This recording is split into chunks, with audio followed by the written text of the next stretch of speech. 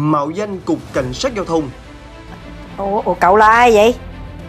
À, chào bà nha, tôi là Nguyễn Văn Thiện, cán bộ phòng dân thư thuộc Cục Cảnh sát Giao thông. Hả?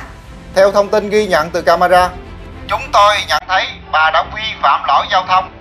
Liên tục nhận thông tin bất thường, Hiện tại có một tài khoản ngân hàng mang tên của bà.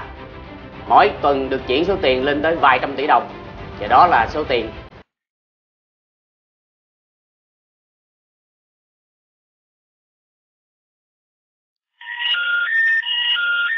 Thuê mới bao quý khách vừa gọi gọi hiện không Ừ. liên lạc được. Thuê bao rồi. Xin quý khách vui lòng ta? gọi lại sau.